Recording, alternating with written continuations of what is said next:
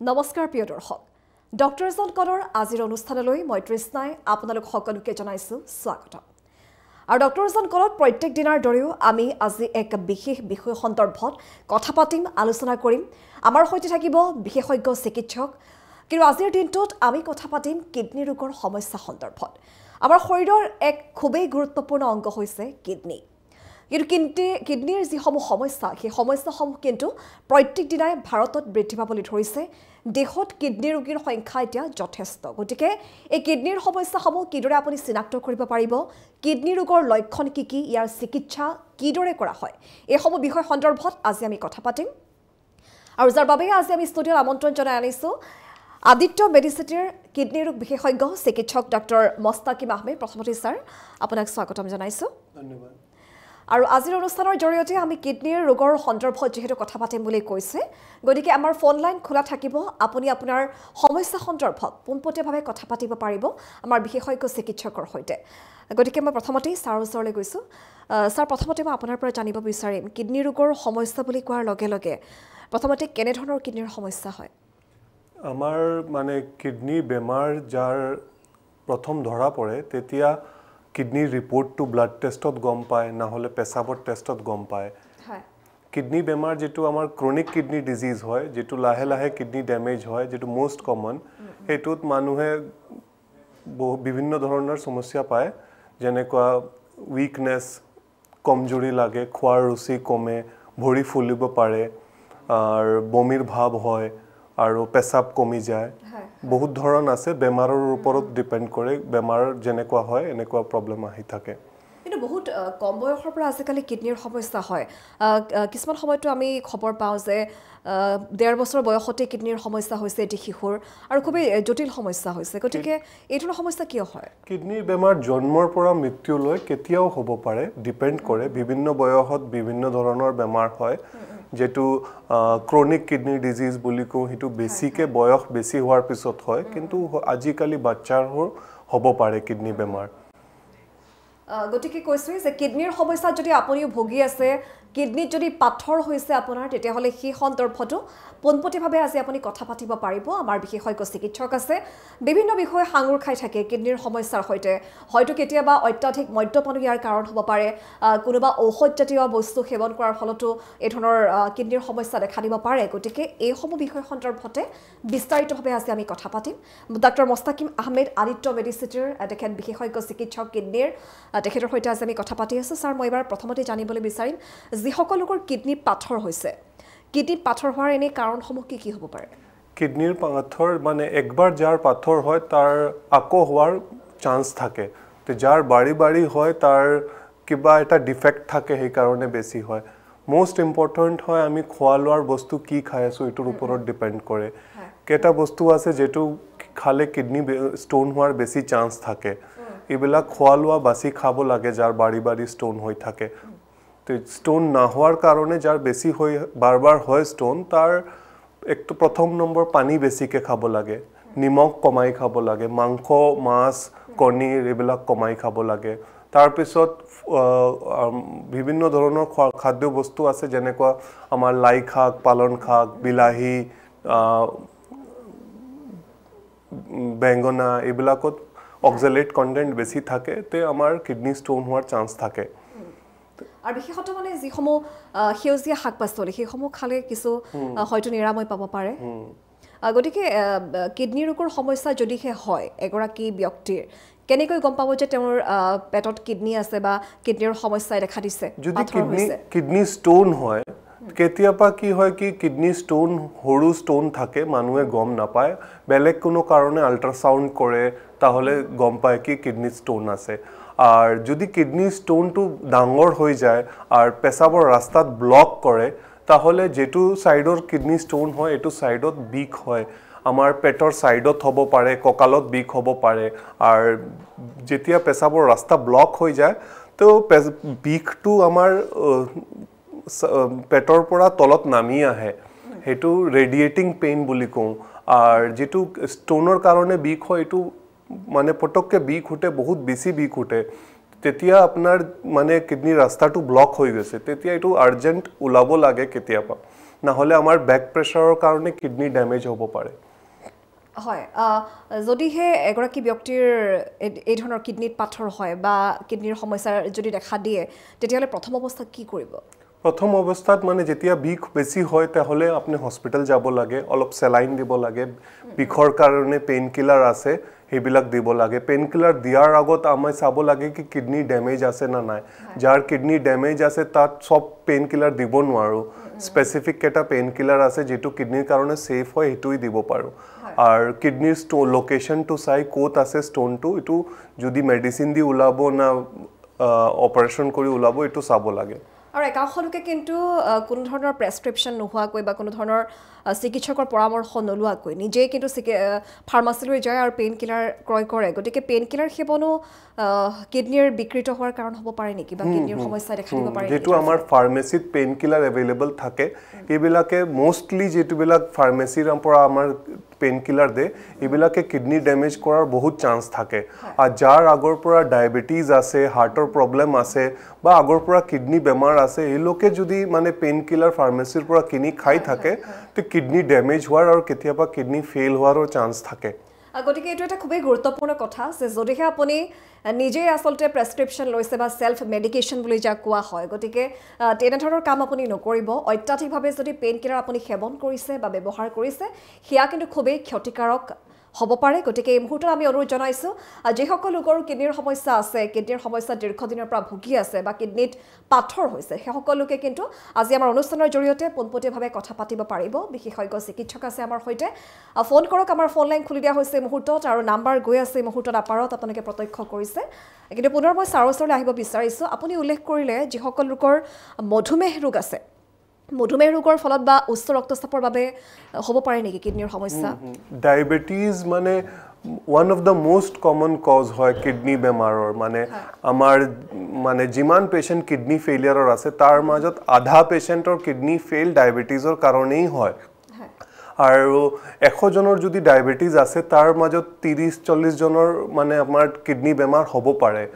তাৰপিছত আৰু ডায়েবেটিছৰ আৰু লগত ব্লাড প্ৰেছাৰ থাকে যদি বা আমাৰ কলেষ্ট্ৰল বেছি থাকে বা বয়স বেছি হয় বা হাৰ্টৰ বেমাৰ হয় বা লিভাৰৰ প্ৰব্লেম হয় বা বাৰী বাৰী কিডনি ষ্ট'ন হৈ থাকে তাৰ কিডনি বেমাৰ হোৱাৰ কিডনি ডেমেজ হোৱাৰ চান্স থাকে আৰু এনেই কিডনিত পাথৰ হ'লে এনেই কি কি খাব কি কি নাখাব এবাৰ যদি তালিকাখন জনাই দিয়ে তেওঁলোকৰ বাবেও সুবিধা হ'ব আমাৰ যাৰ বাবে। বাৰী বাৰী কিডনি ষ্ট'ন হৈ থাকে সেইকলে প্ৰথম পানী বেছিকৈ খাব। দিনত আমাৰ কোৱা হয় কি পেচাব আঢ়াই লিটাৰৰ ওপৰত হ'ব লাগে।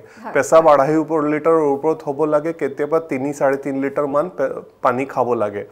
আৰু তাৰপিছত নিমখ কম কৰি খাব লাগে। আৰু মাংস স্পেচিফিকেলি ৰেড মিট আৰু কণীৰ মাছ এইবিলাক কমাই খাব লাগে। আৰু আমাৰ শাক পাচলি আৰু স্পেচিয়েলি লাই শাক পালন শাক বিলাহী বেঙেনা ফুলকবি এইবিলাক কমাই খাব লাগে।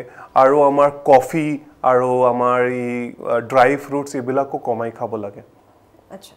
গতিকে এইসমূহ হৈছে তালিকা। গতিকে যিখিনি চিকিৎসকে চিকিৎসকগৰাকীয়ে ইতিমধ্যে আমাক জনাইছে যে কি খাব লাগে কি খাব নালাগে যদিহে আপোনাৰো কিডনিত পাথৰ হৈছে তেতিয়াহ'লে এইসমূহ যি আচলতে তেখেতে তালিকা প্ৰকাশ কৰিছে সেই তালিকা অনুযায়ী আপুনি যদি আপোনাৰ ডায়েট মেইনটেইন কৰে বা খাদ্যসমূহ খায় তেতিয়াহ'লে কিন্তু খুবেই সুফল পাব। কিন্তু আজি আমাৰ ডক্টৰ এজন কলৰ অনুষ্ঠানত আমি কথা পাতিছোঁ কিডনিৰ বিভিন্ন সমস্যা সন্দৰ্ভত। গতিকে আপোনাৰো যদি সমস্যা আছে তেনেকুৱা কিবা তেতিয়াহ'লে নিশ্চিতকৈ আপুনি ফোন কৰক আৰু সমস্যাৰ লগ সমিধান। আমাৰ ফোন লাইন খুলি দিয়া আছে এই মুহূৰ্তত। আপাৰত নাম্বাৰ গৈ আছে।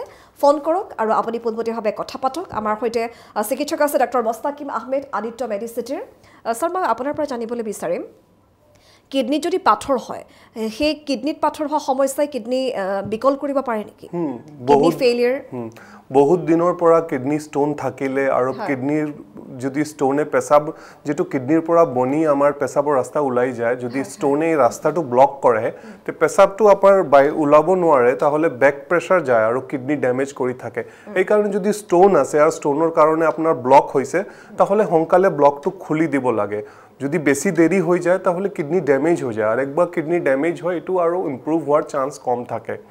আর স্টোন যদি ডাঙৰ স্টোন থাকে তে ষ্টোনৰ ওপৰত ইনফেকশ্যন হোৱাৰ আমাৰ বেক্টেৰিয়া গ্ৰ'থৰ চান্স বেছি থাকে। তে য- যদি ষ্টোনৰ চাইজটো বেছি হয় তাৰ ইনফেকশ্যন হোৱাৰ চান্স আছে। আৰু বাৰ বাৰ ইনফেকশ্যন হ'লে কিডনি ডেমেজ হ'ব পাৰে। আমাৰ কিডনী এনেকুৱা আমাৰ দুটা কিডনী আছে গাত দুটা কিডনীত সৰু সৰু ফেক্টৰী আছে দহ লাখ দহ লাখ ফেক্টৰী এটা কিডনীত আছে। চব ফেক্টৰী জন্মৰ পৰাই থাকে। নতুন জন্ম হোৱাৰ পিছত নতুন ফেক্টৰী নবনে। আৰু একবাৰ যদি এটা ফেক্টৰী নষ্ট হৈ যায় আকৌ এইটো ৰিষ্টাৰ্ট কৰিব নোৱাৰে আৰু নতুনকৈ নবনে। তো আমাৰ এটা limited number of kidney function আছে যিটো আমি যদি লছ হৈ যায় তো ৰিকভাৰ কৰিব নোৱাৰোঁ। সেইকাৰণে যদি ষ্ট'নৰ কাৰণে কিডনী ডেমেজ আৰম্ভ হৈ গৈছে তে এজ চুন এজ পচিবল যিমান সোনকালে হ'ব পাৰে ষ্ট'নটো ওলাই দিলে ভাল হয়। তো কিডনী আমাৰ ডেমেজটো কণ্ট্ৰল কৰিব পাৰোঁ। হয় এনেই আদিত্য মেডিচিটিত এনেই কিডনীৰ সমস্যাৰ যিসমূহ ৰোগী আহে তেওঁলোকৰ চিকিৎসা কিদৰে হয়? আমাৰ ইয়াত মানে দুটা ফেচিলিটি আছে অ' পি ডিও আছে আই পি ডিও আছে আৰু কিডনী ষ্ট'নৰ কাৰণে দুজনৰে দৰকাৰ মানে আমাৰ নেফ্ৰলজিষ্ট বৃক্ষৰোগ বিশেষজ্ঞ আৰু এটা আছে ইউৰলজিষ্ট মানে যিটো অপাৰেশ্যন কৰি ষ্ট'ন ওলায় দুজনৰে দৰকাৰ। তো মেডিচিটিত আপোনাৰ নেফ্ৰলজিষ্ট আৰু ইউৰলজিষ্ট দুজন আছে তো যদি মেডিচিন দি কণ্ট্ৰল কৰিব লাগে তে নেফ্ৰলজিষ্টে কৰে আৰু যদি অপাৰেশ্যন লাগে তে ইউৰলজিষ্টে কৰে। গতিকে এই ধৰণৰ বিভিন্ন আচলতে চিকিৎসা আছে কিডনী ৰোগৰ। আপুনি কৈছিলে ক্ৰনিক কিডনী ডিজিজৰ কথা গতিকে সেইটো কি হয়? মানে যদি আমাৰ কিডনী ডেমেজ হৈ থাকে লাহে লাহে তিনি মাহৰ পৰা ডেমেজ হৈ থাকে তো এইটো অনগয়িং এটা বেমাৰ হয় যিটোৰ কাৰণে কিডনী ডেমেজ হৈ কিডনী ফেইলিয়াৰতো যায়। তো এইটো কয় ক্ৰনিক কিডনী ডিজিজ তো এই ক্ৰনিক কিডনী ডিজিজৰ পাঁচটা ষ্টেজ হয় মানে আমাৰ এজন এডাল্ট মানুহ মানে চল্লিছ বছৰৰ মানুহৰ কিডনী ফাংচন ধৰি লওক হাণ্ড্ৰেড থাকে এটা এভাৰেজ তো যেতিয়া এইটো ফাংচনটো হাণ্ড্ৰেডৰ পৰা নামি ছিক্সটিৰ তলত আহে তো আমি কওঁ কি kidney ডেমেজটো kidney chronic kidney disease start হৈ গৈছে। তো এইটো কিডনী ক্ৰনিক কিডনী ডিজিজৰ পাঁচটা ষ্টেজ হয়। প্ৰথম ষ্টেজ আমি যেতিয়া ধৰা পৰে ছিক্সটিৰ তলত যায় তেতিয়া কোন ষ্টেজ থ্ৰী তাৰপিছত লাহে লাহে এইটো ফাংচনটো ছিক্সটিৰ ষাঠিৰ তলত আহি পোন্ধৰৰ তলত যায়। যেতিয়া পোন্ধৰৰ তলত কিডনী ফাংচন যায় তেতিয়া আমি কওঁ কি কিডনী ফেইল হৈ গৈছে। আৰু যিটো এইটো ফাংচন টেনৰ তলত যায় এইট এইটৰ তলত যায় তেতিয়া ডায়েলিচিছৰ দৰকাৰ হয় বা কিডনী ট্ৰান্সপ্লাণ্টৰ দৰকাৰ হয়।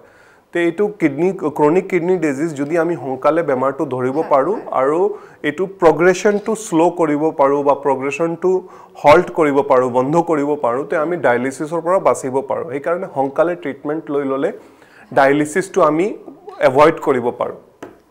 হয় আপুনি চিকিৎসা কিদৰে কৰা হয় সেইখিনি সন্দৰ্ভত ইতিমধ্যে জনাইছে। কিন্তু কিডনীৰ সমস্যা যিসকলৰ দেখা দিছে তেওঁলোকে প্ৰথম অৱস্থাত কিদৰে গম পাব বা লক্ষণসমূহৰ বিষয়ে যদি আপুনি অলপ বিস্তৃতভাৱে কয় তেতিয়াহ'লে অলপ সুবিধা হ'ব। যেতিয়া কিডনীৰ কিডনী ডেমেজ আৰম্ভ হয় তে কেতিয়াবা কি হয় কি আমাৰ ভৰি যদি ডায়েবেটিছৰ কাৰণে হয় বা বেলেগ কিবা কিডনীৰ বেমাৰ হয় তে কেতিয়াবা ভৰি ফুলে প্ৰথম ভৰি ফুলে বা পেচাবত প্ৰটিন যায় যিটো ডায়েবেটিছৰ কাৰণে কিডনী ডেমেজ হয় যিটো মষ্ট কমন হয় সেইটোত কি হয় কি প্ৰথম পেচাবত প্ৰটিন ওলায় পেচাবত ফেনা উঠে। তাৰপিছত লাহে লাহে কিডনী ডেমেজ আৰম্ভ হয়। যেতিয়া কিডনী ফাংচনটো যথেষ্ট ডেমেজ হৈ যায় তেতিয়া আমাৰ ব্লাড টেষ্টত গম পাওঁ। তাৰ আগত পেচাবত প্ৰটিন ওলায়। আৰু পেচেণ্টে যেতিয়া কিডনী বেমাৰ আৰম্ভ হয় প্ৰথম ভৰি ফুলে তাৰপিছত লাহে লাহে উইকনেছ আৰম্ভ হয় কমজুৰি হয় খোৱাৰ ৰুচি কমে বমি আহে উশাহ লোৱা দিগদাৰী হ'ব পাৰে। পেচাবৰ মানে দুই ধৰণৰ বেমাৰ আছে যে কেতিয়াবা পেচাবটো কমি আহে আৰু কেতিয়াবা পেচাব নাকমে কিন্তু কিডনী ডেমেজ হৈ থাকে।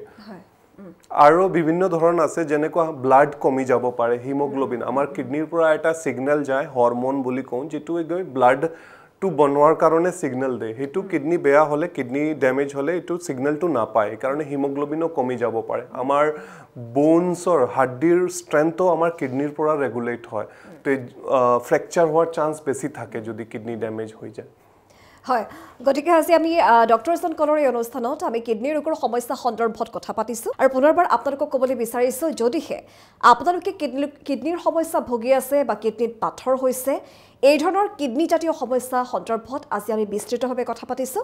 গতিকে পোনপটীয়াভাৱে আপুনি কথা পাতিব পাৰিব।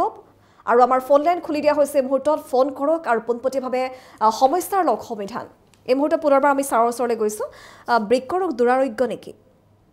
কিডনীৰ সমস্যা সফল কৰিব পাৰিনে বা কিডনীৰ সমস্যা দুৰাৰোগ্য বুলি কোৱা হয় বিভিন্ন সময়ত? বিভিন্ন সময়ত মানে দুই ধৰণৰ বেমাৰ হয়। মই আগত কৈছিলোঁ যেনেকুৱা ক্ৰনিক কিডনী ডিজিজ যিটো লাহে লাহে বেয়া হয় সেইটো ৰিকভাৰ পূৰা পূৰা ৰিকভাৰ নহয়। কিন্তু এটা হয় মানে মানে ছাডেন কিডনী ডেমেজ হয় একিউট কিডনী ইঞ্জুৰি বুলি কওঁ। এইটো বিভিন্ন ধৰণৰ বেমাৰৰ কাৰণে হয় কি বেমাৰ ছাডেনলি জ্বৰ উঠিছে বা ভৰি ফুলিছে আৰু মানে অলপ দিনৰ ভিতৰত কিডনী ডেমেজ হৈছে বা কিডনীৰ ৰিপৰ্টটো বাঢ়ি গৈছে। এই এনেকুৱা কণ্ডিশ্যনত ৰিকভাৰী হোৱাৰ চান্স থাকে। আৰু যদি ডায়েলিচিছৰো দৰকাৰ পৰে তাৰপিছতো কিডনী ৰিকভাৰ হয়। বহুত পেচেণ্ট এনেকুৱা হয় কি অলপ দিন ডায়েলিচিছ কৰাৰ পিছত কিডনী ডেমেজটো ইম্প্ৰুভ ৰিকভাৰ হৈ যায় আৰু ডায়েলিচিছ কৰিব নালাগে। তো এইটো বেমাৰৰ ওপৰত ডিপেণ্ড কৰে। গতিকে কিডনী ৰোগৰ সমস্যা বিভিন্ন ধৰণৰ হ'ব পাৰে। কিডনী ডায়েলিচিছ বুলি কোৱা হয় বা কিডনী ফেইলিয়াৰ বুলি কোৱা হয়। গতিকে কিডনী ফেইলিয়াৰ সন্দৰ্ভতে আমি কথা পাতিম। কিন্তু তাৰ পূৰ্বে আমি পুনৰবাৰ কৈছোঁ আমাৰ ফোন লাইন খুলি দিয়া হৈছে। কিডনী ৰোগৰ সমস্যা সন্দৰ্ভত আপুনি পোনপটীয়াভাৱে প্ৰশ্ন কৰিব পাৰিব। আপোনাৰ সমস্যাৰ সমাধান ল'ব পাৰিব আজি। গতিকে নাম্বাৰ এই মুহূৰ্তত আপাৰত গৈ আছে নাম্বাৰ দেখিছে। সেই নাম্বাৰ ফোন কৰক আৰু আপোনাৰ সমস্যাৰ লওক সমাধান। আমি কিডনী ফেইলিয়াৰ সন্দৰ্ভত কথা পাতিম। কিন্তু এই মুহূৰ্তত মই আপোনাক সুধিব বিচাৰিছোঁ অত্যাধিক মদ্যপান বা ৰাগিয়াল জাতীয় বস্তু খালে কিডনী ডেমেজ হ'ব পাৰে নেকি? ডাইৰেক্টলি মদিৰা পান কৰিলে কিডনী ডেমেজ নহয় কিন্তু লিভাৰ ডেমেজ হোৱাৰ চান্স থাকে লিভাৰৰ পৰা কিডনী এফেক্ট হ'ব পাৰে। এনে ডাইৰেক্টলি এতিয়াও ইমান এভিডেঞ্চ নাই কিন্তু লিভাৰ ডেমেজৰ এভিডেঞ্চ আছে। আৰু যাৰ লিভাৰ ফেইল হয় তাৰ কিডনী ফেইল হোৱাৰ চান্স থাকে। আৰু কিন্তু স্মকিং চিগাৰেট বা বিড়ি তম্বাকু খালে কিডনীত ডেমেজ হয় এইটো এভিডেঞ্চ আছে। তো স্মকিংটো ডাইৰেক্টলি লিংকড আছে কিডনী ডেমেজ লৈ। হয়। গতিকে স্মকিং ইনজুৰিয়াছ টু হেল্থ বুলি এনেই কোৱা নহয়। Injurious to kidney also' specifically গতিকে যি আচলতে ধূম্ৰপান সেই ধূম্ৰপানেও হয়তো আপোনাৰ কিডনী বিকল কৰিব পাৰে। গতিকে এইসমূহ বিষয় সন্দৰ্ভত আপুনি কিছু সজাগ হ'ব লাগিব। যদি আপুনি মাদক দ্ৰব্য সেৱন কৰে বা যদি আপুনি ধূম্ৰপান কৰে তেতিয়াহ'লেও কিন্তু আপোনাৰ কিডনী ডেমেজ হ'ব পাৰে তাৰ সম্ভাৱনা নৈ কৰিব নোৱাৰি। গতিকে অত্যাধিক মদ্যপানৰ কথা তেওঁ কৈছে। কিন্তু আমি পেইন কিলাৰৰ কথাও পাতিছোঁ ছাৰ পেইন কিলাৰেও হয়তো কিডনীৰ ডেমেজ কৰিব পাৰে নহয় জানো? পেইন কিলাৰটো মানে বেছি পেইন কিলাৰ খালে কিডনী ডেমেজ হোৱাৰ চান্স থাকে। আৰু যাৰ ৰিস্ক বেছি আছে কিডনী ডেমেজৰ যেনেকুৱা ডায়েবেটিছ আছে বয়স বেছি বা হাৰ্টৰ প্ৰব্লেম এইবিলাক মানুহৰ যদি পেইন কিলাৰ বেছি খায় তে কিডনী ডেমেজ হোৱাৰ আৰু বেছি চান্স থাকে। আৰু ডে টু ডে লাইফৰ কথা যদি আমি কওঁ প্ৰত্যেকটো সময়ত ডে টু ডে লাইফৰ কাৰণে মানুহে বিভিন্ন ধৰণৰ জাংক ফুড খায় বা আজিকালি সেউজীয়া শাক পাচলি খোৱা লোক মানুহে বাদেই দিছে। গতিকে সেইসমূহৰ কাৰণেও হ'ব পাৰে নিশ্চিত জাংক ফুডৰ কাৰণে ব্লাড প্ৰেছাৰ বাঢ়ি যাব পাৰে এণ্ড ইনডাইৰেক্টলি ব্লাড প্ৰেছাৰৰ পৰা কিডনী ডেমেজ হ'ব পাৰে। এটা ফোন কল আছে এই মুহূৰ্তত ল'ব বিচাৰিছোঁ আপুনি কোনে কৈছে আৰু ক'ৰ পৰা কৈছে জনাওক? হয় মই মংগলদৈৰ পৰা কৈছোঁ। হয় বাইদেউ ধন্যবাদ জ্ঞাপন কৰিছোঁ অনুষ্ঠানলৈ ফোন কৰাৰ বাবে। কেনেধৰণৰ সমস্যা হৈছে আপোনাৰ? অন্য বিশেষ একো নহয় তাৰমানে বিষৰ কি ঔষধ খালে কিডনী কিবা হ'ব পাৰে নেকি? সেই সন্দৰ্ভতে আমি কথা পাতি আছিলোঁ। পিছে ধন্যবাদ জ্ঞাপন কৰিছোঁ। আপোনাৰ প্ৰশ্নটোৰ উত্তৰ নিশ্চিতকৈ পাব। ছাৰ কি ক'ব? তেখেতে পেইন কিলাৰৰ কথাই সুধিছে। পেইন কিলাৰ কি হয় কি মানে চব মানুহৰ প্ৰব্লেম নহয়। যদি আপোনাৰ কোনো আগৰ পৰা বেমাৰ নাই তাহলেও আপুনি পেইন কিলাৰ বেছি খাব নোৱাৰে। যিমান ডক্টৰে প্ৰেছক্ৰাইব কৰে ডক্টৰে যেতিয়াও পেইন কিলাৰ প্ৰেছক্ৰাইব কৰে এটা ডিউৰেশ্যনৰ কাৰণে কৰে কি ইমান দিনৰ কাৰণে ইমান ড'জ খাব লাগে। আপুনি যদি ৰেগুলাৰ ফাৰ্মেচীৰ পৰা খাই থাকে তে প্ৰব্লেম হোৱাৰ চান্স থাকে। বেছি দিন আৰু বেছি ড'জ খালে কিডনী ডেমেজ হোৱাৰ চান্স থাকে। সেইকাৰণে আপুনি ডক্টৰৰ প্ৰেছক্ৰিপশ্যনৰ পৰা এক্সট্ৰা পেইন কিলাৰ নল'ব এইটোৱেই কথা। হয় এই মুহূৰ্তত ধন্যবাদ জ্ঞাপন কৰিছোঁ। আৰু এইদৰে কেইবাটাও ফোন কল ইতিমধ্যে লাইনত আছে। তেওঁলোকে ফোন কৰি আছে। আমি ফোন কলসমূহ ল'বলৈ চেষ্টা কৰিম। তেওঁলোকৰ সমস্যাসমূহ আমি শুনিম। কি ধৰণৰ সমস্যা তেওঁলোকৰ হৈছে আৰু কিডনীৰ সমস্যা কৈছে। দেশত কিন্তু কিডনীৰ ৰোগীৰ সংখ্যা প্ৰত্যেক দিনাই বৃদ্ধি পাই আছে। ইয়াৰ কাৰণ কি? কি কাৰণে কিডনী ৰোগীৰ সংখ্যা বৃদ্ধি পাইছে? এইসমূহ বিষয় সন্দৰ্ভতো আজি আমি কথা পাতি আছোঁ। ছাৰ পুনৰবাৰ আপোনাৰ ওচৰলৈ আহিছোঁ। কিডনী ৰোগীৰ সংখ্যা বৃদ্ধি পাইছে তাৰ কাৰণসমূহ আমি ইতিমধ্যে জনাইছে।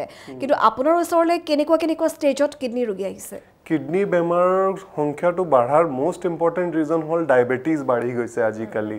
আৰু এটা বেমাৰ আছে যিটো মানে আমাৰ আজিকালি যিটো লাইফষ্টাইল চেঞ্জ হৈছে বা ৱেডাৰ ক্লাইমেট চেঞ্জ হৈছে সেইটোৰ কাৰণে যিটো মানে এটা কিডনী বেমাৰ আছে যিটো লেবাৰাৰসকলৰ হয় বা ফাৰ এগ্ৰিকালচাৰ মানে ফাৰ্মাৰবিলাকৰ হয় যিটো ৰ'দত কাম কৰি থাকে পানী ইমান নাখায় আৰু আজিকালি ফাৰ্মিঙত বহুতবিলাক পেষ্টিচাইড ইনচেক্টিচাইড ইউজ হয় সেইবিলাকেও কিডনী ডেমেজ কৰে।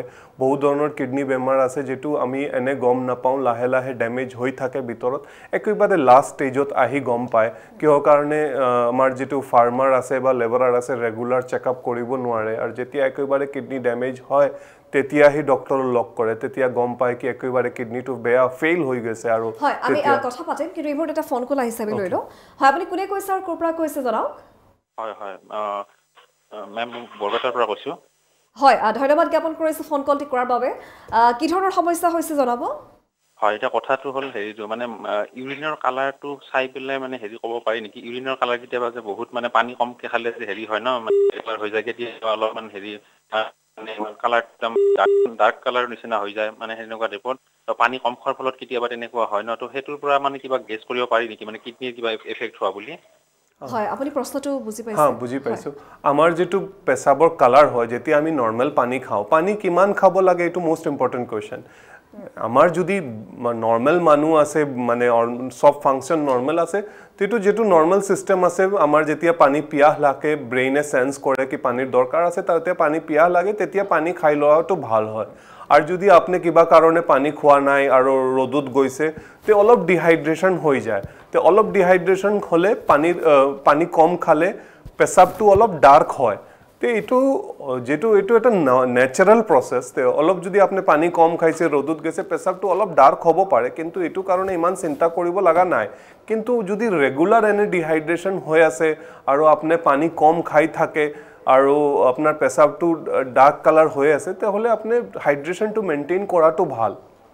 পানী মানে বেছিকৈ খোৱা। পানী এক্সেছ খোৱাৰো দৰকাৰ নাই যেতিয়া পিয়াহ লাগে তেতিয়া খাব। এনেকুৱা নাই কি ৰাতিপুৱা উঠি দুই লিটাৰ খাব লাগে। আৰু পূৰা দিন নাখালে হ'ব এনেকুৱা নাই। আপুনি যেতিয়া পিয়াহ লাগে তেতিয়া খাব লাগে। হয় ধন্যবাদ জ্ঞাপন কৰিছোঁ মুহূৰ্তত আৰু ইতিমধ্যে চিকিৎসকগৰাকীয়ে কৈছে যে এগৰাকী ব্যক্তিক শৰীৰত যিমানখিনি পানীৰ প্ৰয়োজন হয় সিমানখিনি আমি গ্ৰহণ কৰিব লাগে। গতিকে আপুনি সেইখিনি সমস্যা সন্দৰ্ভত ইতিমধ্যে আমি কথা পাতি আছোঁ। আৰু কিডনীৰ কথা তেখেতে কৈছে যে কিডনীৰ সমস্যাৰ যিসমূহ আচলতে সমস্যালৈ তেখেতৰ ওচৰলৈ আহে বিভিন্ন ধৰণৰ সমস্যালৈ আহে গতিকে চিকিৎসা কি ধৰণেৰে কৰা হয় আৰু কি কি চিকিৎসা পদ্ধতি আছে? প্ৰথম কোন ধৰণৰ বেমাৰ লৈ আহিছে এইটোৰ ওপৰত ডিপেণ্ড কৰে। যিটো আমি কৈছোঁ ক্ৰনিক কিডনী ডিজিজ যিটো কিডনী ডেমেজ হৈ হৈ লাষ্টে কিডনী ফেইল হয়। এইটো কোন ষ্টেজত আহিছে? যদি সোনকালে আহে পেচেণ্ট বেছি কিডনী ডেমেজ হোৱা নাই তেতিয়া আমি বেমাৰটো কণ্ট্ৰল কৰিব পাৰোঁ। মানে বহুত ধৰণৰ চিকিৎসা আছে এইখিনি দি আমি কিডনী ডেমেজটো কণ্ট্ৰল কৰিব পাৰোঁ। তেনেকুৱা কি ডায়েলিচিছটো আমি এভইড কৰিব পাৰোঁ বা এভইড কৰিব নোৱাৰিলে অলপ দেৰি কৰিব পাৰোঁ। আৰু যদি পেচেণ্ট একেবাৰে লাষ্ট ষ্টেজত আহে যেতিয়া কিডনী ফেইল হৈ গৈছে তেতিয়াও বহুত ধৰণৰ ট্ৰিটমেণ্ট আছে। মানে যেতিয়া আমাৰ কিডনী একেবাৰে কাম কৰা নাই আৰু আমাৰ গাত যিটো কিডনীয়ে যিটো কাম কৰে এইটো নকৰিলে আমাৰ গাত তেজ লেতেৰা বস্তু জমা হৈ থাকে। যদি পেচাব ভালকৈ কৰিব নোৱাৰে তে পানী জমা হৈ থাকে। পানী জমা হ'লে গা ফুলি যায় বা উশাহ লোৱা দিগদাৰী হয়। আৰু বহুত দিনৰ পৰা কিডনী কাম নকৰিলে আমাৰ হিমোগ্ল'বিন কমি আহে আমাৰ হাৰ্ডিৰ ষ্ট্ৰেংথ কমি যায়। তো এনেকুৱা কণ্ডিশ্যনত যেতিয়া লাষ্ট ষ্টেজত আহে তেতিয়াও ট্ৰিটমেণ্ট আছে। বিভিন্ন ধৰণৰ ট্ৰিটমেণ্ট হয়। যেনেকুৱা আমি ডায়েলিচিছ কওঁ ডায়েলিচিছো দুই ধৰণৰ আছে। এটা ব্লাডৰ ডায়েলিচিছ এটা পেটৰ ডায়েলিচিছ আৰু কেতিয়াবা কিডনী ট্ৰান্সপ্লাণ্ট কৰিলেও নৰ্মেল জীৱনটো কণ্টিনিউ কৰিব পাৰে। আৰু আৰু এটা ফোন কল আছে আমি লৈ লওঁ নেকি. হয়। আমি কথা পাতিম। আৰু এটা ফোন কল আছে লৈ ল'ব বিচাৰিছোঁ। আপুনি কোনে কৈছে আৰু ক'ৰ পৰা কৈছে জনাব? হয় হয়। মই হেৰিৰ পৰা কৈছোঁ নলবাৰীৰ পৰা ক'লোঁ। হয় ধন্যবাদ জ্ঞাপন কৰিছোঁ। ডক্টৰ এজন কল চাই আছে। কি ধৰণৰ সমস্যা হৈছে জনাব পাৰে? হয় মোৰ জানিব লগা আছিল তাৰমানে কিডনীৰ কাৰণে কি কি বস্তু মানে কি কি আমাৰ ডেইলি মানে ফুডছ খালে ভাল হয় মানে কিডনীটো মানে হেল্থি ৰাখিব পাৰোঁ যেনেকুৱা পাতে গজা আছে বা তেনেকুৱা আৰু কি কি বস্তু এভইড কৰিব লাগে খোৱা খোৱা পাতি আৰু কি কি বস্তু খালে মানে ভাল মানে এনে অট'মেটিকেলি বস্তুটো মানে মানে হেৰি ঠিকে থাকে কিডনী সেইটোৰ কাৰণে। জ্ঞাপন কৰিছে মুহূৰ্তত প্ৰশ্নটি কৰাৰ বাবে। এটি খুবেই গুৰুত্বপূৰ্ণ হা, প্ৰশ্নটি ভাল কৰিছে। ঘৰতে থাকি। কি মানে কি এনেকুৱা ধৰণৰ কি খাদ্য খাব বা কি গ্ৰহণ কৰিব যাৰ পৰা কিডনীৰ সমস্যাৰ পৰা আঁতৰি থাকিব পাৰি? ঠিক আছে। মানে যাৰ কোনো বেমাৰ নাই সেও আজিকালি বেমাৰ ইমান বাঢ়ি আছে সতৰ্ক থকাটো ভাল। তো মানে প্ৰথম জিনিস হ'ল আপুনি ব্লাড প্ৰেছাৰ ৰেগুলাৰ চেকআপ কৰি থাকিব ব্লাড চুগাৰ চেক কৰি থাকিব। মানে যাৰ কোনো বেমাৰ নাই তে মাজে মাজে বছৰত একবাৰ at least blood pressure sugar check কৰি থাকিব। আৰু যাৰ বেমাৰ আছে প্ৰেছাৰ আছে সকলেও ৰেগুলাৰ আৰু বেছি ফ্ৰিকুৱেণ্টলি চেকআপ কৰি থাকিব। তাৰপিছত আপুনি পানী নৰ্মেল খাব যিমান পিয়াহ লাগে ইমান পানী এভইড কৰিলেও প্ৰব্লেম আৰু এক্সেছ খোৱাৰ দৰকাৰ নাই কিন্তু যেতিয়া পানী পিয়াহ লাগে তেতিয়া খাই লোৱাটো ভাল। তাৰপিছত আপোনাৰ খোৱা লোৱাত অলপ বাছি খোৱাটো ভাল। আপুনি যেনেকুৱা মাংসটো এভইড কৰিব মিট স্পেচিফিকেলি ৰেড মিট ৰঙা মাংসটো কমাই খালে আপোনাৰ গাত ইউৰিক এচিড বা ব্লাড প্ৰেছাৰ বঢ়াৰ চান্স কম থাকে। আৰু আপুনি নিমখটো কমাই খাব লাগে। নৰ্মেল মানুহে যদি বেছি নিমখ খায় তে ব্লাড প্ৰেছাৰ বাঢ়ি যোৱাৰ চান্স থাকে। তাৰপিছত আপুনি যিটো জাংক ফুড হয় ফাষ্ট ফুড হয় যেনেকুৱা মানে আমাৰ যিবিলাক ফাষ্ট ফুড আছে এইবিলাক খালেও আমাৰ এইটোত চল্ট কণ্টেণ্ট নিমখটো বেছি থাকে তো এইবিলাক এভইড কৰাটো ভাল।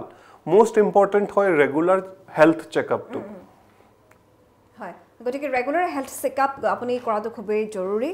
কিন্তু এই মুহূৰ্তত যিহেতু কৈছোঁ যে কিডনীৰ বিভিন্ন ধৰণৰ সমস্যা আছে সেয়া কিডনীত পাথৰ হওক বা কিডনীৰ জনিত বিভিন্ন সমস্যা সেইসমূহ সমস্যা সন্দৰ্ভতে আজি আমি কথা পাতি আছোঁ। আমাৰ ফোন লাইন খুলি দিয়া হৈছে আপুনি ফোন কৰক আৰু আপোনাৰ সমস্যাৰ লওক সমিধান। আৰু এইবাৰ ছাৰ মই পুনৰবাৰ আপোনাৰ ওচৰলৈ গৈছোঁ। কিডনী ফেইলিয়াৰ বুলি কোৱা হয়। গতিকে কিডনী ফেইলিয়াৰ মানে প্ৰকৃততে কি? কিডনী ফেইলিয়াৰ মানে যেতিয়া আমাৰ কিডনী একেবাৰে ফাংচন কৰা নাই মানে যিটো আমাৰ কিডনী ফাংচন হাণ্ড্ৰেড হ'ব লাগে যেতিয়া একেবাৰে ফিফটিনৰ তলত আহি যায় পোন্ধৰৰ তলত এশৰ জেগাত পোন্ধৰৰ তলত কিডনী ফাংচন আহে তেতিয়া আকৌ কিডনী ফেইলিয়াৰ হয়। কিডনী ফেইলিয়াৰো দুই ধৰণৰ আছে এটা আছে একিউট আৰু এটা আছে ক্ৰনিক যিটো লাহে লাহে কিডনী ডেমেজ হৈছে বহুত দিনৰ পৰা বেমাৰ আছিলে সেইটো ৰিকভাৰ হোৱাৰ চান্স কম থাকে। কিন্তু কেতিয়াবা কি হয় কি পটককৈ আমাৰ কিডনী ডেমেজ হৈ ক্ৰিয়েটনিনটো বাঢ়ি যায় কিডনী ফেইল হৈ যায় কিডনী ফাংচন কমি যায়। এইটো যিটো একিউট হয় এইটো ট্ৰিটমেণ্ট কৰিলে কেতিয়াবা বেমাৰ যদি ধৰিব পাৰোঁ কিহৰ কাৰণে ছাডেনলি কিডনী ডেমেজটো হৈছে কিডনী ফেইল হৈ গৈছে তেতিয়া এইটো ট্ৰিটমেণ্ট কৰিলে বহুত পেচেণ্টৰ ৰিকভাৰী হৈ যায় আৰু একেবাৰে নৰ্মেল লৈও আহি যায় কেতিয়াবা যদি বেমাৰটো বেছি দিন হোৱা নাই। আমি কওঁ কি তিনি মাহৰ ওপৰত যদি বেমাৰ হৈ যায় যে কিডনী ডেমেজটো তাহলে ৰিকভাৰীৰ চান্সটো কমি আহে। আৰু যদি হা তিনি মাহৰ ভিতৰত থাকে তে কেতিয়াবা পুৰা কিডনী ফাংচনো ৰিকভাৰ হ'ব পাৰে। কিডনী ফেইলিয়াৰ সন্দৰ্ভত আৰু অধিক কথা পাতিবলগীয়া আছে আমি পাতি যাম। শৰীৰৰ এক অন্যতম গুৰুত্বপূৰ্ণ অংগ হৈছে বৃক্ক। বিনৰ বীজটোৰ দৰে এই বৃক্ক। কিন্তু এই বৃক্কটোক স্বাস্থ্যৱান কৰি ৰখাটো আটাইতকৈ গুৰুত্বপূৰ্ণ কথা। বৃক্কজনিত সমস্যা বহুতো হ'ব পাৰে। আজিৰ দিনত সমগ্ৰ দেশতে কিডনী ৰোগৰ ৰোগীৰ সংখ্যা কিন্তু বৃদ্ধি পোৱা পৰিলক্ষিত হৈছে। কি কাৰণে কিডনী ৰোগৰ সমস্যা বৃদ্ধি পাইছে? সেই সন্দৰ্ভতে আজি আমি কথা পাতি আছোঁ ডক্টৰ জনকলত আমাৰ সৈতে উপস্থিত আছে আদিত্য মেডিচিটিৰ ডাক্তৰ মস্তাকিম আহমেদ কিডনী ৰোগ বিশেষজ্ঞ। পুনৰবাৰ ছাৰ আপোনাৰ ওচৰলৈ আহিছোঁ। আপুনি কিডনী ফেইলিয়ৰ কথা কৈ আছিলে গতিকে কিডনী ফেইলিয়ৰ বিষয়ে আৰু বিস্তৃতভাৱে জানিবলৈ বিচাৰিম। কিন্তু তাৰ পূৰ্বে আমাৰ দৰ্শকসকলক মই অনুৰোধ জনাইছোঁ যে আমাৰ যিহেতু ফোন লাইন খুলি দিয়া হৈছে গতিকে কিডনী ৰোগৰ সমস্যাত যদি আপুনিও ভুগি আছে যদি বা কিডনীত পাথৰ হৈছে তেতিয়াহ'লেও আপুনি সমস্যাৰ সমাধান ল'ব পাৰিব। আপোনাৰ প্ৰশ্ন পোনপটীয়াভাৱে সুধিব পাৰিব আমাৰ বিশেষজ্ঞ চিকিৎসকৰ সৈতে। ছাৰ পুনৰবাৰ আপোনাৰ ওচৰলৈ আহিছোঁ। যেতিয়া আমি মই কৈছিলোঁ যে মানে কিডনী ফেইলিয়াৰ যিটো ক্ৰনিক কিডনী ফেইলিয়াৰ হয় যিটো লাহে লাহে কিডনী ডেমেজ হৈছে এইটো আৰু ৰিকভাৰী হোৱাৰ চান্স নাই। সেইটোৰ আমাৰ কিডনী ফেইল হোৱাৰ পিছতো আমাৰ বহুত ট্ৰিটমেণ্ট আছে যিটো লৈ নৰ্মেল লাইফ এটা মানে পেচেণ্টে কণ্টিনিউ কৰিব পাৰে। কিডনী ফেইলিয়াৰ হোৱাৰ পিছতো আমি ডায়েলিচিছ আছে বিভিন্ন ধৰণৰ। আজিকালি বহুত এডভান্স ডায়েলিচিছ আহিছে যিটো অলমষ্ট নৰ্মেল লাইফ মানুহে কণ্টিনিউ কৰি থাকিব পাৰে। আৰু ডায়েলিচিছ কোনোবাই যদি ডায়েলিচিছ কৰিব বিচৰা নাই তে ডায়েলিচিছ তাকে ভাল ট্ৰিটমেণ্ট আছে কিডনী ট্ৰান্সপ্লাণ্ট যদি ফেমিলিৰ কেও কিডনী দিব পাৰে ডনেট কৰিব পাৰে কিডনী দেৱা আজিকালি ইমান ডাঙৰ কথা নাই। এটা মাইনাৰ এটা চাৰ্জ মানে চাৰ্জাৰী এটা কৰিব লাগে। যদি যেনে কিডনী দিব ডোনাৰ বুলি কওঁ যদি ফেমিলিৰ কোনে কিডনী দিব দিব বিচাৰিছে তাৰ প্ৰথম চেকআপ কৰা হয়। যদি কোনো বেমাৰ নাথাকে আৰু ফিট থাকে চাৰ্জাৰীৰ কাৰণে এটা সৰু চাৰ্জাৰী কৰি কিডনীটো ওলাই যিটো যাৰ কিডনী ফেইল হৈছে তাত এটা লগাই দিলে দুজনেই ভাল আউটকাম থাকে। হয় মই এইখিনিতে এটা প্ৰশ্ন সুধিবলৈ বিচাৰিছোঁ। বিভিন্নজনে বিভিন্ন সময়ত প্ৰশ্ন কৰে যে দুটা কিডনীৰ এটা কিডনী উলিয়াই দিলে বা এটা কিডনী যদি বেলেগক দান দিয়া হয় তেতিয়াহ'লে এটা কিডনীৰে মানুহ জীয়াই থাকিব পাৰেনে নাই? এটা কিডনী দি নৰ্মেল লাইফ কণ্টিনিউ কৰিব পাৰে। যদি প্ৰথম কি হয় কি কিডনী দিয়াৰ আগত ডোনাৰৰ চব কিছু চেকআপ কৰা হয় কিবা ব্লা বেমাৰ থাকিলে এনেকুৱা এনেকুৱা ডোনাৰৰ ৰিজেক্ট কৰি দিয়া হয়। যদি পেচেণ্ট ফিট আছে আগৰ পৰা কোনো বেমাৰ নাই তে এটা কিডনী দিয়াৰ পিছতো নৰ্মেল লাইফটো জীৱন কণ্টিনিউ কৰিব পাৰে। গতিকে খুবেই সাধাৰণ কথা কিডনী আজিকালি দান কৰা হয় কিডনী ট্ৰান্সপ্লাণ্টো কৰা হয় গতিকে এইসমূহ সন্দৰ্ভতে আজি আমি কথা পাতি আছোঁ। বিভিন্ন সময়ত কিডনীৰ নলীত বিসংগতি হয় সেইটো কি? এইটো মানে চবৰ নহয় মানে যেতিয়া মানে এইটো যদি কিডনীৰ প্ৰব্লেম হৈছে তে এইটো চেকআপত কৰি যদি ধৰা পায় অপাৰেশ্যন কৰি কেতিয়াবা ঠিক হয় কেতিয়াবা মেডিচিন দিও কণ্ট্ৰল হ'ব পাৰে। হয় এইদৰে আমি কিডনী ৰোগৰ সমস্যা সন্দৰ্ভত কথা পাতি আছোঁ আজি। ডাক্তৰ মস্তাকিম আহমেদ আমাৰ সৈতে আছে। গতিকে আপুনিও ফোন কৰিব পাৰে আমাৰ ফোন লাইন খুলি থোৱা আছে। আপোনাৰ সমস্যা সন্দৰ্ভত আজি আমি কথা পাতিম। কিন্তু আহ, কিডনীত পাথৰ হ'লে ছাৰ আজিকালি কি ধৰণৰ উপায় অৱলম্বন কৰা হয় উলিয়াবৰ কাৰণে বা চিকিৎসাৰ পদ্ধতি কি? কেনেধৰণৰ অস্ত্ৰোপচাৰ হয়? আজিকালি মানে বহুত ধৰণৰ এডভান্স টেকন'লজি আহি গৈছে। লেজাৰ আছে বা লিথোট্ৰিপচি আছে বা মানে বহুত আছে কি এটা মানে ব্লেডৰ ইউজ কৰিব নালাগে যদি ষ্টোন এনেকুৱা লোকেশ্যনত থাকে বিনা কাটা চিৰা দিও আপোনাৰ ষ্টোনটো ওলাব পাৰে। লেজাৰ দি মানে এইটো ইউৰলজিষ্টে ভালকে বুজাব পাৰিব। লেজাৰ আজিকালি ওলাইছে যিটো দি আমাৰ কিডনীৰ ৰাস্তা কোনো প্ৰব্লেম হ'লে এইটো ট্ৰিটমেণ্ট কৰিব পাৰে। লেপ্ৰস্কপি লেপ্ৰস্কপি হয় মানে যিটো কি হোল চাৰ্জাৰী হয় যিটো মানে সৰু পৰ্ট দি লেন্স দি আমাৰ অপাৰেশ্যন কৰা হয় তে ডাঙৰ ইনচিশ্যনটো দিব নালাগে। হয় আহ, গতিকে এইদৰে বিভিন্ন ধৰণৰ চিকিৎসা পদ্ধতি আছে অস্ত্ৰোপচাৰো আছে। গতিকে এগৰাকী যদি আহ, কিডনীত পাথৰ হোৱা ৰোগী সেই পাথৰ হোৱা ৰোগীগৰাকীৰ কিডনীৰ অস্ত্ৰোপচাৰ সম্পন্ন হোৱাৰ পাছত কেনেদৰে নিজৰ স্বাস্থ্যৰ যতন ল'ব? যাৰ একবাৰ কিডনী ষ্টোন হয় তাৰ আকৌ হোৱাৰ চান্স থাকে। তে যদি একবাৰ আপোনাৰ ষ্টোন হৈছে তাৰপিছত অপাৰেশ্যনৰ লাগিছে তাৰপিছত আপুনি অলপ এলাৰ্ট থাকিব ৰেগুলাৰ চেকআপ কৰি থাকিব খোৱা লোৱা বাছি খাব লাগিব আৰু যদি কেতিয়াবা আকৌ ষ্টোন হয় তো সোনকালে ট্ৰিটমেণ্ট ল'লেহি আপোনাৰ বেমাৰটো কণ্ট্ৰলত থাকে। কিডনী ফিল্টাৰ কৰা হয় নেকি? কিডনী ফিল্টাৰ কৰা বুলি শুনো। কেতিয়াবা? নাই এনেকুৱা নাই। মানে আমাৰ কিডনীৰ কামেই হয় আমাৰ ব্লাডটো ফিল্টাৰ কৰা। ব্লাডটো ফিল্টাৰ কৰি যিমান লেতেৰা বস্তু আছে এচিড আছে এইবিলাক পেচাবত ওলাই দিয়ে। আৰু বিভিন্ন কাম আছে ফাংচন আছে কিডনীৰ প্ৰথমটো এটা ফিল্টাৰ কৰা হ'ল। ফিল্টাৰৰ লেতেৰা বস্তু আৰু এচিড এইবিলাক ওলায়। আৰু এটা আছে পানী এক্সট্ৰা পানী আমাৰ গাত যিবিলাক আছে এইবিলাক ওলাই দিয়ে। আৰু বিভিন্ন ধৰণৰ ফাংচন আছে যেনেকৈ আমাৰ হিমগ্ল'বিন বঢ়াৰ কাৰণে যিটো মই আগত কৈছিলোঁ আৰু ব'ন হেল্থ আৰু অভাৰঅল মানে বিভিন্ন ধৰণৰ ফাংচন আছে। আমাৰ যেনেকুৱা ইলেক্ট্ৰলাইট আছে কেলছিয়াম ফছফৰাছ মেগনেছিয়াম পটেছিয়াম এইবিলাকৰ বেলেঞ্চো কিডনীৰ পৰা আহে। গতিকে এই ধৰণৰ সমস্যা আৰু চিকিৎসা পদ্ধতি আছে কিডনী ৰোগৰ সমস্যা। আদিত্য মেডিচিটিৰ ডক্টৰ বস্তাকিম আহমেদ আমাৰ সৈতে আছে আমি কথা পাতি আছোঁ আজি। গতিকে আপুনি যদি কিডনীৰ সমস্যাত ভুগিছে কিডনীত পাথৰ হৈছে এই ধৰণৰ সমস্যা সন্দৰ্ভত পোনপটীয়াভাৱে আপুনি প্ৰশ্ন কৰিব পাৰে কথা পাতিব পাৰে। আমাৰ ফোন লাইন খুলি দিয়া হৈছে নাম্বাৰ গৈ আছে এই মুহূৰ্তত দেখা পাইছে।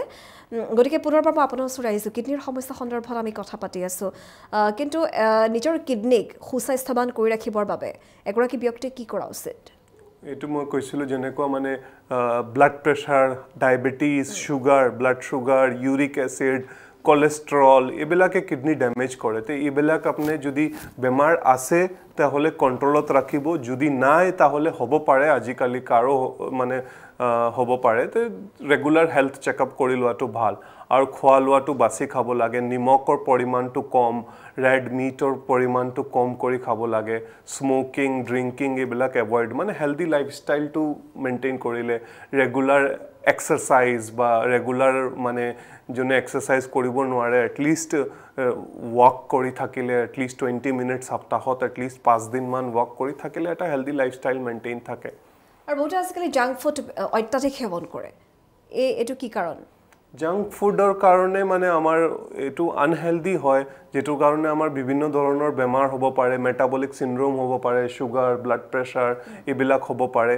আৰু যদি চুগাৰ ব্লাড প্ৰেছাৰ হয় তে ইভেঞ্চুৱেলি কিডনী ডেমেজ হয় এইটোৰ পৰা। তে জাংক ফুড একেবাৰেতো বন্ধ কৰিব নোৱাৰে যদি পাৰে যিমান কম হ'ব পাৰে এইটো। সেৱন কৰাটো উচিত। হয় আৰু কিডনী বিকল হোৱাৰ মই গোটেইকেইটা ষ্টেজৰ কথা জানিব বিচাৰিম। প্ৰথম ষ্টেজত কি হয় ছেকেণ্ড ষ্টেজত কি হয় বা এই ধৰণৰ বিভিন্ন ষ্টেজ থাকে। যিটো মানে ক্ৰনিক কিডনী ডিজিজ কওঁ এইটোৰ পাঁচটা ষ্টেজ হয়। মানে আমি প্ৰথম এটা দুটা ষ্টেজত পেচেণ্টৰ কিডনী ফাংচনটো ঠিক থাকে কিন্তু পেচা পেচাব ব্লাড ওলায় বা পেচাব প্ৰটিন ওলায় তেতিয়া মানুহে এনে গম নাপায়। কিন্তু পেচাবত যদি ৰঙা হয় বা পেচাবত ফেন উঠে বা ইয়ে কিন্তু কিডনী ক্ৰিয়েটনিনটো নৰ্মেল থাকে আৰ্লি ষ্টেজ হয় তেতিয়া বেমাৰটো ধৰি যদি ট্ৰিটমেণ্ট কৰিব পাৰোঁ তাহ'লে এইটো বেমাৰটো কণ্ট্ৰল কৰিব পাৰোঁ। তিনি নম্বৰ ষ্টেজ আহে যেতিয়া কিডনী ফাংচনটো কমি আহে যিমান হ'ব লাগে ষাঠি প্ৰতি ষাঠিৰ তলত যেতিয়া কিডনী ফাংচন আহে তেতিয়া কওঁ ষ্টেজ থ্ৰী হৈছে। আৰু যেতিয়া ফিফটিন পোন্ধৰৰ তলত আহে তেতিয়া কওঁ ষ্টেজ ফাইভ আৰু পোন্ধৰৰ তলত যোৱাৰ পিছত কওঁ কি কিডনী ফেইল হৈছে। এইটো আমাৰ কিডনী ক্ৰনিক কিডনী ডিজিজৰ যিটো কিডনী ফেইল হয় এইটোৰ ষ্টেজেছ হয় লাহে লাহে এনেকুৱা প্ৰগ্ৰেছ হৈ থাকে। হয় এনেই আৰু দেখিবলৈ পোৱা গৈছে আজিকালি আপুনি কৈছে বিভিন্ন ধৰণৰ কিডনীৰ ষ্টেজেছসমূহ থাকে।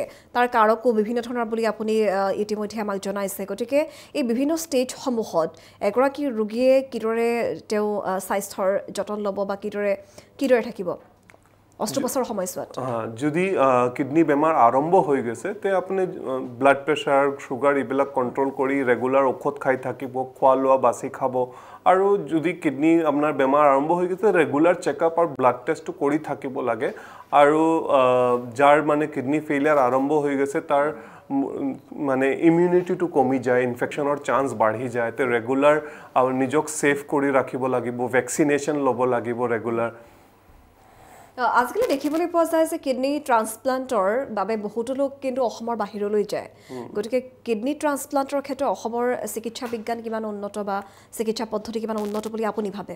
আজি আমাৰ আমাৰ ময়ো কিডনী ট্ৰান্সপ্লাণ্ট কৰোঁ মোৰ হস্পিটেলত। মানে লাষ্ট টু মান্থছ বেকো এটা কিডনী ট্ৰান্সপ্লাণ্ট হ'ল। মানে ৰেগুলাৰ হৈ থাকে। কিন্তু কি হয় আমাৰ অসমত মানে ফেমিলিৰ পৰাহি কিডনী দিব পাৰি। মানে বাহিৰৰ মানুহে আনৰিলেটেড কিডনী ট্ৰান্সপ্লাণ্টটো ইলিগেল হয় পূৰা ইণ্ডিয়াতহে। সেইকাৰণে আমাৰ অসমত হ'ব পাৰে কিডনী ট্ৰান্সপ্লাণ্টৰ ৰেটটো কম। আৰু কি ধৰণৰ সমস্যাৰ সৃষ্টি হয় কিডনী ট্ৰান্সপ্লাণ্টৰ সময়ত? কিডনী ট্ৰান্সপ্লাণ্ট যদি ডোনাৰৰ ডোনাৰৰ কোনো বেমাৰ নাই আগৰ পৰা ডোনাৰ চেকআপত ফিট থাকে তে ডোনাৰৰতো একো প্ৰব্লেম নহয় বহুত কম চান্সত হয় কি ডোনাৰ কিবা ব্লাড প্ৰেছাৰ বাঢ়ি যোৱাৰ চান্স থাকে। এনে কি ডোনাৰৰ অলমষ্ট ক'ব গ'লে নৰ্মেলি থাকে নৰ্মেল লাইফ কৰিব পাৰে। আৰু যিটো যোনে কিডনী লগাইছে লগোৱাৰ পিছত এনেকুৱা নাই কি একেবাৰে ভাল হৈ যায় কি গাই বাহিৰৰ বস্তুটো ৰিজেক্ট কৰি থাকে। সেইকাৰণে ইমিউনো ছাপ্ৰেশ্যন লৈ থাকিব লাগে ৰেগুলাৰ মেডিচিন খাই থাকিলে কিডনী ট্ৰান্সপ্লাণ্ট কৰাৰ পিছত ৰেগুলাৰ মেডিচিন খাই থাকি ৰেগুলাৰ ব্লাড টেষ্ট কৰি চেকআপ কৰি ডক্তৰৰ লগ কৰি থাকিলে একো প্ৰব্লেম নাপায়। হয় আৰু কিডনী ট্ৰান্সপ্লাণ্ট হৈ যোৱাৰ পাছত এগৰাকী ৰোগী কিদৰে নিজৰ যতন ল'ব? কিডনী ট্ৰান্সপ্লাণ্ট হোৱাৰ পিছত আমাৰ যিটো মেডিচিনবিলাক দিওঁ ইমিউনো ছাপ্ৰেশ্যন বুলি কওঁ এইবিলাক দিলে পেচেণ্টৰ ইমিউনিটিটো কম থাকে। তো ইনফেকশ্যন হোৱাৰ চান্স বেছি থাকে। মানে পেচাবৰ ইনফেকশ্যন নিউমনিয়া এইবিলাক হোৱাৰ বেছি চান্স থাকে। সেইকাৰণে অলপ সতৰ্ক থাকিলে ইনফেকশ্যনৰ পৰা বাচি থাকিব। যেনেকুৱা মানে অলপ হাইজিন মেইনটেইন কৰিব চফা থাকিব ক্ৰাউডেড প্লেচ এভইড কৰিলে হা। খোৱা লোৱাটো অলপ মানে ঘৰৰ খানা খাব বাহিৰৰ খানাত খালে ইনফেকশ্যন হোৱাৰ চান্স থাকে। আৰু ৰান্ধি খানাটো খাব কাচ্চা বস্তুটো নাখাব। ফল মূল খালে ভালকৈ ৱাশ্ব কৰি পিল কৰি খাব। মানে যিটো আমি যেনেকুৱা এপল আনো এপল আনিলে ডাইৰেক্ট খোৱাৰ টো ইনফেকশ্যনৰ চান্স বেছি থাকে ট্ৰান্সপ্লাণ্ট পেচেণ্টৰ তে ঘৰৰ পৰা আনি ভালকৈ ৱাশ্ব কৰি পিল কৰি এপলটো খালে ভাল মানে। এনেই মানে অলপ সতৰ্ক থাকিলে ইনফেকশ্যনৰ পৰা বাচিব পাৰে। আৰু দুই নম্বৰ প্ৰব্লেম হয় কিডনী ট্ৰান্সপ্লাণ্ট হোৱাৰ পিছত ৰিজেকশ্যন বুলি কওঁ যিটো বাহিৰৰ বস্তু লগায় কিডনী বেলেগ মানুহৰ কিডনী লগালে নিজৰ বডিয়ে ৰিজেক্ট কৰিব বিচাৰে। যেতিয়া ইমিউনো ছাপ্ৰেশ্যন দি এইটো ৰিজেকশ্যনটো কণ্ট্ৰল কৰোঁ তাৰপিছতো ৰিজেকশ্যন হোৱাৰ চান্স থাকে। কিডনী ট্ৰান্সপ্লাণ্ট কৰাৰ প্ৰথম তিনি মাহত দহ পোন্ধৰ শতাংশ মানুহৰ কিডনী ৰিপৰ্টটো বাঢ়ি যাব পাৰে। কিন্তু এইটো যদি সোনকালে ধৰিব পাৰে আৰু ট্ৰিটমেণ্ট কৰিব পাৰে ninety two ninety five percent পেচেণ্টৰ কণ্ট্ৰল আহি যায়। আৰু আৰু এটা আছে ক্ৰনিক ৰিজেকশ্যন বহুত কিডনী ট্ৰান্সপ্লাণ্ট কৰাৰ পিছত প্ৰথমটো কিডনী ফাংচন ভাল আছিলে তাৰপিছত লাহে লাহে কিডনী ডেমেজ আৰম্ভ হৈ যায়। এইটো কওঁ ক্ৰনিক ৰিজেকশ্যন আৰু ইভেঞ্চুৱেলি কিডনী ফেইল হৈ যায়। তে এইটোৰ কাৰণেও বহুত ধৰণৰ ট্ৰিটমেণ্ট আছে। সেইকাৰণে যদি আপুনি ট্ৰান্সপ্লাণ্ট কৰাৰ পিছত ৰেগুলাৰ চেকআপ কৰি থাকে তেতিয়াই আপুনি গম পাব কি মোৰ কিডনী ৰিপৰ্টটো বাঢ়িছে ৰিজেকশ্যন আছে না নাই। তে যদি সোনকালে ৰিজেকশ্যনটো ধৰিব পাৰোঁ তে কিডনীটো বচাব পাৰোঁ নতুন যিটো। কিডনী হয়। আমি আৰু কথা পাতিম কিডনী ট্ৰান্সপ্লাণ্টৰ সন্দৰ্ভতে। আপোনাৰ ওচৰলৈ মই পুনৰবাৰ আহিছোঁ আৰু পুনৰবাৰ আমাৰ দৰ্শকসকলকো অনুৰোধ জনাইছোঁ যে আমাৰ ফোন লাইন খুলি দিয়া আছে কিডনীজনিত সমস্যাত যদি আপুনি ভুগিছে তেতিয়াহ'লে আপুনি পোনপটীয়াভাৱে কথা পাতিব পাৰিব ডাক্তৰ মস্তাকিম আহমেদৰ সৈতে। আৰু পুনৰবাৰ ছাৰ মই আপোনাৰ পৰা জানিবলৈ বিচাৰিম পুৰুষ আৰু মহিলা সমানে কিন্তু কিড- কিডনী ৰোগৰ সমস্যাত ভোগে। মহিলাসকলৰ ক্ষেত্ৰত বিশেষকৈ ত্ৰিছ আৰু পঁয়ত্ৰিছ বছৰ বয়সৰ পৰা দেখিবলৈ পোৱা যায় কিডনীৰ সমস্যা। কি কাৰণে হয়? মহিলাসকলৰ ক্ষেত্ৰত কিয় হয়? মহিলাসকলৰ কি হয় কি পেচাবৰ ইনফেকশ্যনৰ চান্সটো বেছি হয় আৰু যাৰ বেছি ব- বাঢ়ি বাঢ়ি পেচাবৰ ইনফেকশ্যন হয় তাৰপিছত কিডনী ডেমেজ হোৱাৰ চান্স থাকে। আৰু কেইটা বেমাৰ আছে যেনেকৈ অট' ইমিউন বেমাৰ হয় এছ এল ই বুলি কওঁ লুপাছ এইবিলাকো মহিলাৰ বেছি হয়। সেইকাৰণে মহিলাৰ এইবিলাক কিডনী বেমাৰটো অলপ বেছি হয়। আৰু কি ধৰণৰ কাৰণ থাকিব পাৰে মহিলাৰ কিডনী ৰোগৰ? প্ৰথমটো ইনফেকশ্যন বাঢ়ি বাঢ়ি মানে ডিফিকাল্ট ডেলিভাৰী থাকিলে বা আৰু অট' ইমিউন বেমাৰ থাকিলে কিডনী ডেমেজ হোৱাৰ চান্স বেছি থাকে মহিলাৰ। আৰু এনে আৰু বেলেগ কিবা কাৰণ নাই। এইটো এইখিনি হয় আৰু বাকী ফেইলিয়ৰৰ কথালৈ আহিছোঁ এইবাৰ। কিডনী ফেইলিয়ৰ বুলি কোৱা হয় যিহেতু। গতিকে কিডনী ফেইলিয়ৰ হ'লে কি কৰিব লাগে বা কি কৰিব পৰা যায়? মানে এটাতো মই ক'লোঁ বেষ্ট ট্ৰিটমেণ্ট হয় কিডনী ট্ৰান্সপ্লাণ্ট যদি কিডনী ট্ৰান্সপ্লাণ্ট কৰিব নোৱাৰে প্ৰথম ট্ৰিটমেণ্ট কি দিব পাৰোঁ? ডায়েলিচিছ বুলি কওঁ যিটো কিডনী ফাংচন পেচেণ্টৰ কিডনীয়ে কাম কৰা নাই সেইটো লেতেৰা বস্তু জমা হৈছে এচিড জমা হৈছে এক্সট্ৰা পানী এইবিলাক হয়তো মেচিন দি ওলাব পাৰোঁ সেইটো কওঁ হিম'ডায়েলিচিছ আৰু এটা আছে পেটৰ ডায়েলিচিছ কওঁ পেৰিটনিয়েল ডায়েলিচিছ যিটো হিম'ডায়েলিচিছ হয় এইটো কি হয় গাৰ পৰা ব্লাড ওলাই মেচিন দি চফা মেচিন দি চফা কৰি ব্লাডটো ৰিটাৰ্ণ কৰি দিওঁ। তে এইটো কৰাৰ কাৰণে মানে আমি যাৰ কিডনী একেবাৰে ফেইল হৈ গৈছে তাৰ সপ্তাহত দুবাৰ বা তিনিবাৰ হস্পিটেলত আহি বা ডায়েলিচিছ চেণ্টাৰত গৈ চাৰি ঘণ্টাৰ কাৰণে মেচিনত লগাই ডায়েলিচিছটো কৰিব পাৰে। তে সেইটো কৰাৰ কাৰণে ফিচচুলাটো বেষ্ট হয় ব্লাডটো ওলোৱাৰ কাৰণে। এ ভি ফিচচুলা বুলি কওঁ। হাতত ইয়াত এটা বা ইয়াত এটা সৰু এটা চাৰ্জাৰী কৰি এটা এ ভি ফিচচুলা বনাই দিওঁ। তাৰ ওপৰত ৰক্ত চলাচলটো অলপ বেছি হয়। তো এইটোৰ পৰা আমি ব্লাড ওলাই মেচিন দি ডায়েলিচিছ কৰিব পাৰোঁ। যাৰ এইটো ফিচচুলা নাই তাৰ ডিংগিত বা ভৰিত পাইপ লগাই ডায়েলিচিছ কৰিব পাৰোঁ। কিন্তু এইবিলাক টেম্পৰাৰী চলিউশ্যন হয় পাৰ্মানেণ্ট চলিউশ্যন হয় এ ভি ফিচচুলা তো যাৰ কিডনী ফেইল হৈ গৈছে যাৰ অলপ দিনৰ ভিতৰত ডায়েলিচিছো দৰকাৰ হ'ব তাৰ এ ভি ফিচচুলাটো বনাই লোৱাটো ভাল হয়। তাৰপিছত ইজিলি ইনফেকশ্যনটো কম হয় ফিচচুলাৰ পৰা আৰু ডায়েলিচিছটো ইজিলি হ'ব হ'ব পাৰে। আৰু যিটো আমি পাইপ লগাই ডায়েলিচিছ কৰিব পাৰে এইটো খৰচো বেছি হয় আৰু ইনফেকশ্যন হোৱাৰ চান্সো বেছি থাকে। তাৰ নেক্সট ডায়েলিচিছ হ'ল পেৰিটনিয়েল ডায়েলিচিছ পেৰিটনিয়েল ডায়েলিচিছত কি কৰোঁ এটা পেটত অপাৰেশ্যন কৰি মাইনৰ এটা চাৰ্জাৰী হয় এটা পাইপ লগোৱা হয় পেটত। আৰু এইটো পেটত আমাৰ স্পেচিয়েল এটা পানী আহে ফ্লুইড আহে পেৰিটনিয়েল ফ্লুইড কওঁ এইটো পেৰিটনিয়েল ডায়েলিচিছ ফ্লুইড এইটো দুই ঘণ্টা বা চাৰি ঘণ্টাৰ কাৰণে এক লিটাৰ বা দুই লিটাৰ পেটত ভৰি দিওঁ আৰু চাৰি ঘণ্টা পিছত ওলাই দিওঁ আৰু এই এইটো যদি দিনত দুবাৰ বা তিনিবাৰ কেতিয়াবা ৰাতিও একবাৰ কৰিব লাগে এইটো কৰি দিলে আপোনাৰ এটা লাভ হয় কি হস্পিটেলত বা ডায়েলিচিছ চেণ্টাৰত যাব নালাগে। একবাৰ আপুনি যিটো প্ৰথমবাৰ অপাৰেশ্যন কৰি পাইপটো বহাব তাৰপিছত আপুনি নিজৰ ঘৰত কৰিব পাৰে। এইটো মই হোম ডায়েলিচিছ বুলি কওঁ। কিডনী ফেইল হোৱাৰ পিছত যদি আপোনাৰ ঘৰ দূৰত আছে বা ৰিম'ট এৰিয়াত আছে যাৰ পৰা ৰেগুলাৰ ডায়েলিচিছ চেণ্টাৰ যাব নোৱাৰোঁ ওচৰত ডায়েলিচিছ চেণ্টাৰ নাই সেনেকুৱা পেচেণ্টৰ কিডনী ফেইল হ'লে বা নৰ্মেল পেচেণ্টো যাৰ ঘৰৰ ওচৰত ডায়েলিচিছ আছে কিন্তু প্ৰিফাৰ কৰা নাই যিটো ঘৰৰ যেনেকৈ অফিচ যাব লাগে ডেইলি ৰেগুলাৰ তে এনেকুৱা পেচেণ্টে ৰেগুলাৰ ডায়েলিচিছ চেণ্টাৰত যাব নোৱাৰে তে ঘৰত নিজে পেৰিটনিয়েল ডায়েলিচিছ কৰিব পাৰে। পেটত এটা পাইপ বহাই এইটোত পানী লগাই অফিচ যাব পাৰে অফিচৰ পৰা মাজত ওলাই পানী পানীটো চেঞ্জ কৰিব পাৰে। কেতিয়াবা বেলেগ ধৰণৰ এটা ফ্লুইড আহে যিটো পুৰা দিন অফিচত কাম কৰিব পাৰে ৰাতি কৰিলেও হয়। এটা আছে অট'মেটেড পেৰিটনিয়েল ডায়েলিচিছ যিটো মেচিন দি দিনত নকৰিলেও হয় ৰাতি পেটৰ পাইপত এটা মেচিন দি পানীটো কানেক্ট কৰি দিলে মেচিন দি কৰি থাকে পেচেণ্ট শুই থাকে ৰাতিপুৱা ডিছকানেক্ট কৰি নিজৰ কামত বা অফিচত যাব পাৰে। তো বিভিন্ন ধৰণৰ অপশ্যন আছে। এনেকুৱা নাই কি কিডনী ফেইল হোৱাৰ পিছত আৰু পেচেণ্টৰ লাইফটো চেছ হৈ গৈছে আৰু কোনো উপায় নাই। বহুত ধৰণৰ উপায় আছে। পেচেণ্টৰ ৰিকুৱাৰমেণ্টছৰ একৰ্ডিংলি আমি এডজাষ্ট কৰি কিবা এটা বেষ্ট ট্ৰিটমেণ্ট তাৰ কাৰণে যিটো হয় এইটো আমি এটা ডিচিশ্যন ল'ব পাৰোঁ। হয় আপুনি কিডনীৰ ডায়েলিচিছ কেইবা ধৰণৰ বুলি ইতিমধ্যে কৈছে আৰু জনাইছে আমাক। কিন্তু এই মুহূৰ্তত মই সুধিব বিচাৰিছোঁ এগৰাকী কিডনী ৰোগীৰ একদম শেষৰ ষ্টেজটো কি? মানে লাষ্ট ষ্টেজ যদি আপোনাৰ কিডনী ফেইল হৈ গৈছে আৰু ডায়েলিচিছৰ ৰিকুৱাৰমেণ্ট আছে যদি আপুনি ডায়েলিচিছ নকৰে তে কি হ'ব? বহুত মানুহে ভাবে কি ডায়েলিচিছ কৰিলে কৰি থাকিব লাগে। এনেকুৱা নাই।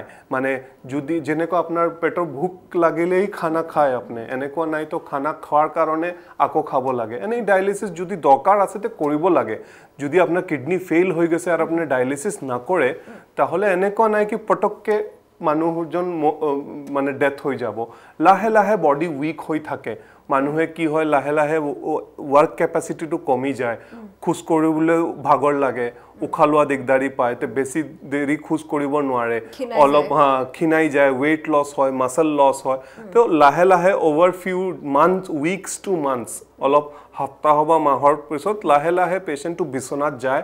আৰু একেবাৰে লাষ্ট ষ্টেজত কনচিয়াছনেছটো কম হৈ যায় পেচেণ্টটো বিচনাত পৰি যায় কথা বুজিব নোৱাৰে এনে লাহে লাহে ইভেঞ্চুৱেলি ফাইনেল ষ্টেজ ডেথ হয়। এনেকুৱা নাই কি মানুহ মানুহে ভাবে কি মোক ডাক্তৰে ডায়েলিচিছ কৈছে মই কৰা নাই কিন্তু মই ভাল আছোঁ।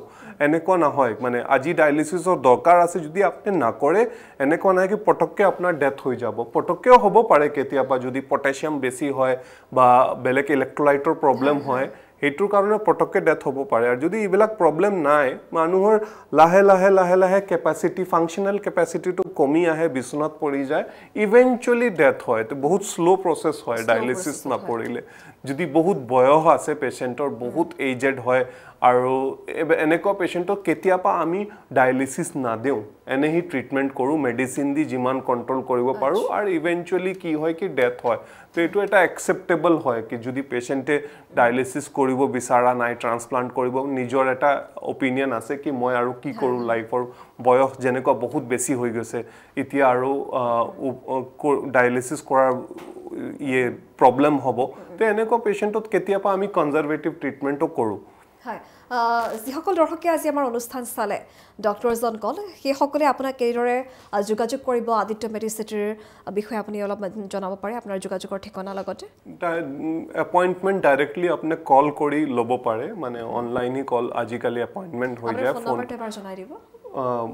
হস্পিটেল মানে আদিত্যৰ ফোন নম্বৰ আপুনি জনাই দিব ডাইৰেক্টলি মই আদিত্য মেডিচিটিলৈ আহিলেই হ'ল। যদি আপোনালোকে তেওঁৰ পৰামৰ্শ ল'ব বিচাৰিছে ডাক্তৰ মস্তাকিম আহমেদ আমাৰ সৈতে আজি আছিল। আমি কথা পাতিলোঁ। আৰু ইয়াৰ লগে লগে ডক্টৰ ইছন কলৰ আজিৰ এই অনুষ্ঠানৰ পৰা মই তৃষ্ণাই লৈছোঁ বিদায়। আৰু পুনৰবাৰ এটা নতুন সপ্তাহত এটা নতুন বিষয় লৈ আমি ডক্টৰ ইছন কল পুনৰ আপোনালোকলৈ লৈ আহিম। ধন্যবাদ।